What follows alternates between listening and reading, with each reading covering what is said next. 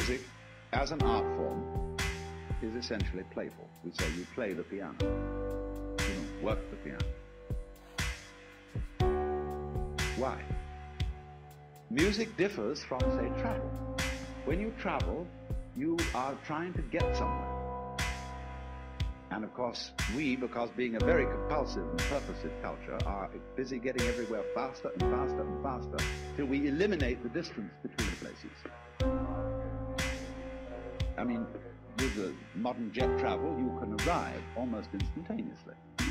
What happens as a result of that is that the two ends of your journey become the same place. So you eliminate the distance and you eliminate the journey.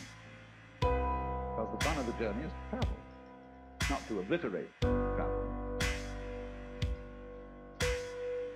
So then, in music, though, one doesn't make the end of a composition the point of the, composi- of the composition. If that were so, the best conductors would be those who played fastest. and there would be composers who wrote only finales. People go to concert just to hear one crashing chord, because that's the end. Same way in dancing. You don't aim at a particular spot in the room. That's where you should arrive. The whole point of the dancing is the dance. Look at the people who live to retire and put those savings away.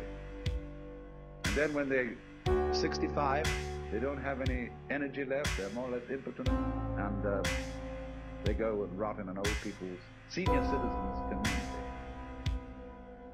community. because we've simply cheated ourselves the whole way down the line. We thought of life by analogy with a journey, with a pilgrimage, which had a serious purpose at the end, and the thing was to get to that end, success or whatever it is, or maybe heaven after you're dead. But we missed the point the whole way along. It was a musical thing, and you were supposed to sing or to dance while the music was being played. But you had to do that.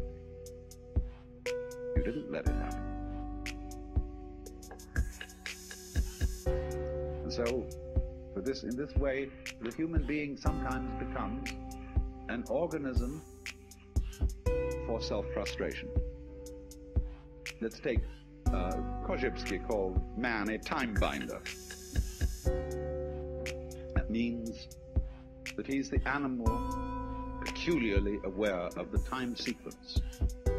And as a result of this, is able to do some very remarkable things. He can predict. He studies what's happened in the past, and he says the chances are so and so of that happening again. So he predicts. Thus, it's very useful to be able to predict, because that has survival value. But at the same time, it creates anxiety. You pay for this increased survival ability involved in prediction by knowing that in the end you won't succeed. You're all going to fall apart by one way or another. It might happen tomorrow, it might happen 50 years from now. But it all comes apart in the end. And people get worried about that, they get anxious. So what they gained on the roundabout, they lost on the swings.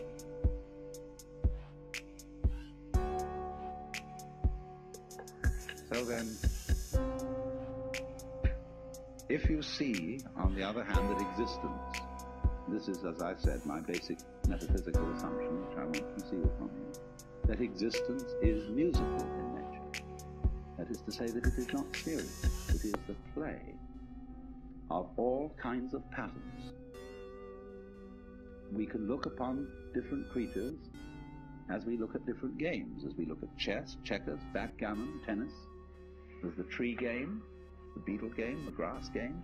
Or you can look at them as you look at different styles of music, mazurkas, waltzes, um, sonata, etc., etc., all down the line. There are all these different things doing their stuff. And we're doing that. Now, existence, you see, is something that is spontaneous. The Chinese word for nature, zhiran, uh, means that which happens of itself. Your hair grows by itself. Your heart beats by itself. You breathe pretty much by itself. Your glands secrete their essences by themselves. You don't have voluntary control over these things. So we say it happens spontaneously. So when you go to sleep and you try to go to sleep, you interfere with the spontaneous process of going to sleep. Try to breathe, you know, real hard, and you find you get balled up in your breathing. So,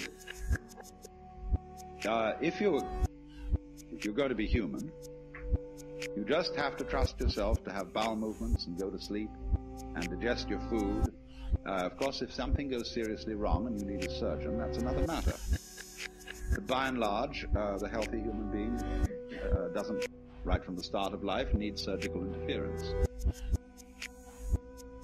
And he lets it happen by, by itself. So, so with the whole picture, that is fundamental. You've got to let go and let it happen. Because if you don't, you're going to be all clutched up. You're going to be constantly trying to do what can happen healthily only if you don't try.